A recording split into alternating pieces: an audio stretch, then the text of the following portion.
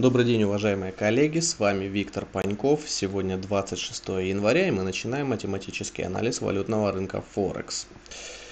S&P 500 в целом ведет себя пока согласно основного сценария.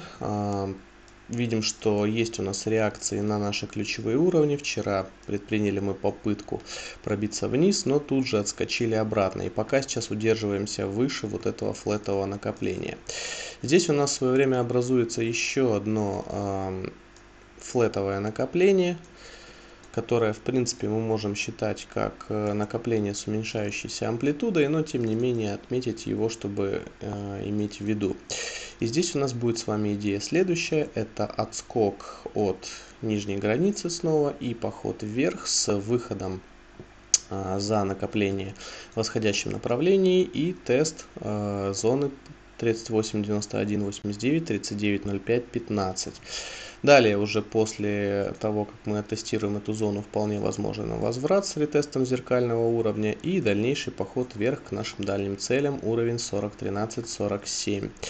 В случае же, если мы все-таки будем снижаться вниз, поскольку ключевые уровни здесь у нас уже оттестированы, оттестированы достаточно неплохо, то вряд ли они смогут удержать цену. И поэтому цена с большей вероятностью пойдет вниз к нашей нижней э, зоне. Это 37, 35, 82, 37, 46, 77. Евро-доллар вчера скорректировался в нисходящем направлении. Видим, что были у нас э, реакции на оба ключевых уровня. Реакции достаточно неплохие, то есть порядка 20 пунктов. С каждого такого отскока можно было забрать. А, пока что сейчас цена не а, показывает намерений перебивать локальный максимум. А, Все еще остается в рамках э, вчерашнего дня, поэтому будем ожидать основного сценария следующего. Это снижение в область 1.2080, 1.2089 и затем уже разворот и поход в восходящем направлении. Если же с текущих позиций мы пойдем наверх, то с большей вероятностью после закрепления выше вот этой котировки можно будет рассматривать а, основную идею как восходящую. Это у нас котировка 1.2159. Ну или 1.2160, можете себе пометить вот этот круглый уровень. Собственно, если мы закрепляемся выше него с текущих позиций, то здесь можно смело входить а, в бай с а, идеей достижения ранее отмеченных целей. 1.2237 наш ближайший уровень. Фунт-доллар также продолжает идти в рамках сценария. Вчера мы а, не, про, не прошли уровень поддержки и сопротивления скорректировались в нисходящем направлении. Движение получилось неплохим, порядка 50 пунктов. И сейчас продолжаем придерживаться краткосрочного южного направления. Ближайшая цель снизу 1.3619 и дальше идет э, целевой диапазон 1.3583, 1.3602. Уже после того, как мы тестируем эти цели, у нас возможен разворот и поход в восходящем направлении. Однако будьте внимательны, если тестирование этих зон будет импульсным, то вполне возможно, что мы закрепимся ниже трендовой линии и пойдем к нашим более дальним целям снизу. Это 1.3453, 1.3475. Альтернативный сценарий это поход вверх. Здесь можете смело пользоваться отложенными ордерами лимитными. И нас здесь будет интересовать вот этот уровень 1.3751 и а, вот этот целевой диапазон 1.3768, 1.3787, они у нас как раз а, попадают в логику структурного движения цены в восходящем направлении, однако все-таки вот такой затяжной флет, еще и с уменьшающейся амплитудой, а, может свидетельствовать о том, что до этих границ, до верхних мы не дойдем, то есть дойдем где-то примерно вот до этой зоны, может быть даже где-то вот до этой зоны и отсюда уже скорректируемся в нисходящем направлении с пробоем а, трендовой линии. Доллар японская иена а, вчера предпринял попытку прорыва линии сопротивления, однако видим, что импульсно вернулись обратно, поэтому сейчас остаемся пока в пределах треугольника.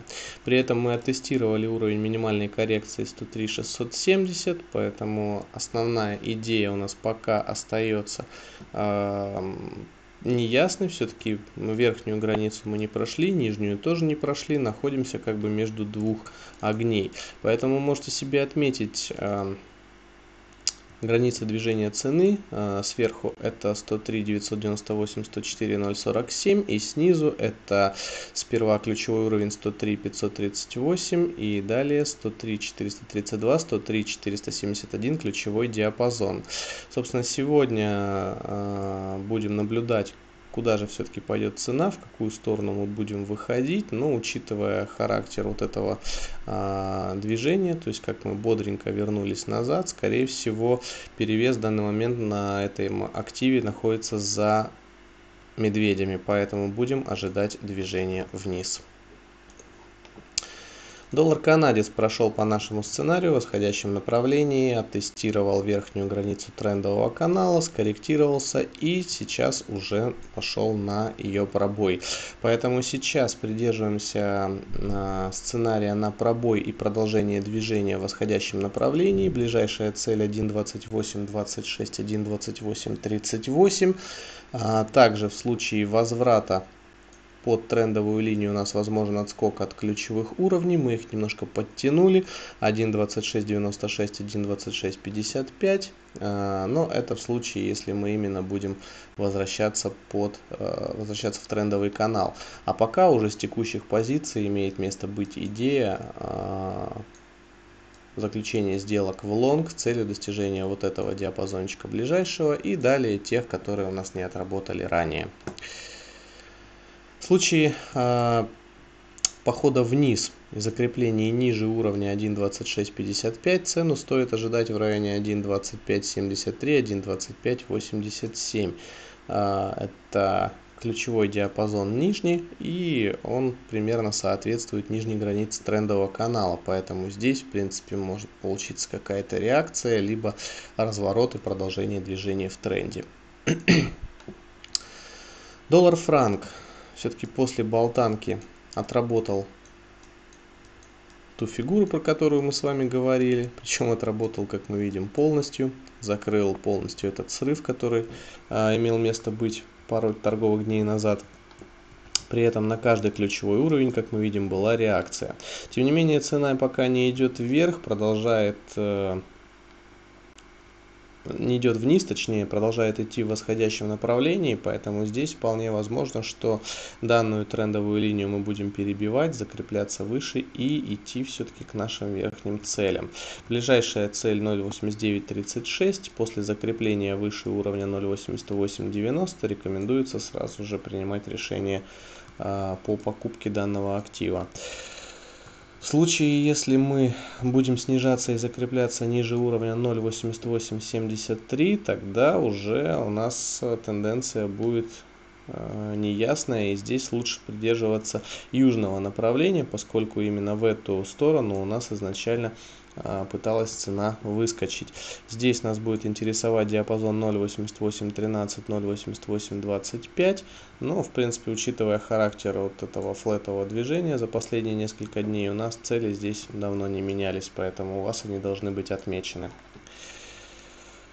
Австралиец доллар После вчерашнего пробития а, трендовой линии продолжает нисходящее движение. Здесь мы ожидаем дальнейшего спуска цены к ключевому диапазону 0.7647, 0.7658. Обратите внимание, что здесь у нас достаточно а, много стоп-лоссов участников рынка находится, поэтому туда цена будет стремиться для того, чтобы эти стоп-лоссы собрать. Здесь же мы можем оттестировать наш э, ключевой э, уровень 0.7640, от которого уже вполне возможно какая-то более глубокая коррекция и дальнейшее продолжение восходящего движения. То есть пока сценарий у нас именно такой. Обратите также внимание, что если с текущих позиций не перебьем мы локальный минимум, а пойдем в восходящем направлении будем закрепляться выше трендовой линии, тогда пойдем к верхним целям. Здесь нас будет интересовать уровень 0.7772, 0.7778. Новозеландец доллар продолжает флетовое движение. Здесь не совсем ясная ситуация, в отличие от австралийца. То есть мы вроде как и сперва пробили трендовую линию, затем возвратились э, на нее, несколько раз оттестировали, сейчас уже третий раз к ней подходим. Поэтому вполне возможно, что сейчас на третий раз она будет пробита. Но далеко нам здесь упасть не получится. Ближайшие, во-первых, э, цели находятся на уровне 0.7160 это стоп-лоссы участников рынка, от них возможно какая-то уже коррекция или реакция цены. И далее здесь находится ключевой уровень 0.7153 и диапазон 0.7130, 0.7141. Поэтому здесь ожидаем сценарий следующий. Пробой трендовой линии, дальше отскок с закреплением, поход вниз – ну и здесь ищем какой-то разворотный либо паттерн, либо а, просто разворотный момент. Может быть какой-то паттерн price action и работаем в восходящем направлении к нашим верхним целям. Здесь у нас есть неотработанные а, границы. Во-первых, это вновь образованный уровень 0.7234 вместе с диапазончиком ближайшим. И также еще уровень 0.7261 и диапазон 0.7279, 0.7298. Золото также продолжает блуждать во флете. А, здесь мы также имеем границы с обеих сторон. Причем здесь следует отметить э, такой факт, что у нас характер движения по золоту сейчас с уменьшением амплитуды. Как мы видим, у нас цена потихоньку запирается вокруг вот этих границ. И, скорее всего, сегодня-завтра у нас произойдет э, какая-то развязка. Поэтому здесь у нас возможны два сценария как обычно. То есть либо это будет импульсный выход вниз, сбор нижней ликвидности и затем поход в восходящем направлении, либо это будет соответственно а, выстрел вверх, сбор той ликвидности, которая есть сверху и затем уже поход к нижним целям. Конечно, учитывая фундаментальный фон, который может, во-первых, измениться в любой момент, во-вторых, все-таки он больше располагает на рост золота, здесь вполне возможен такой сценарий, что мы выйдем импульсно от тестируем э, линию сопротивления и пойдем дальше в восходящем направлении к верхним целям. Такой сценарий тоже стоит учитывать, поэтому будьте внимательны. Но от тех границ, которые я указал, можно смело пользоваться отложенными ордерами, по крайней мере на них золото весьма неплохо реагирует. Можете сами убедиться на истории, то есть несколько раз у нас было такое, что э, практически без погрешности мы отскакивали от этих уровней. По серебру примерно похожая ситуация. Здесь также мы а, немножко застряли во флете, не смогли пробить а, линию поддержки и потихоньку подтягиваем линию сопротивления. Здесь у нас граница 24.94 снизу, 25.99 сверху и целевой диапазон. Верхний 26.13, 26.29 и нижний 24.65, 24.81. Собственно, идея здесь точно такая же, правда, здесь с учетом а, того, что а, линия поддержки у нас все-таки остается статичная, а линия сопротивления снижается, то я больше рассматриваю вариант выхода вниз и затем поход к верхним целям. А, поэтому это будет наш, наш основной сценарий. Поход к уровню 24.94, затем не, после небольшого ретеста а,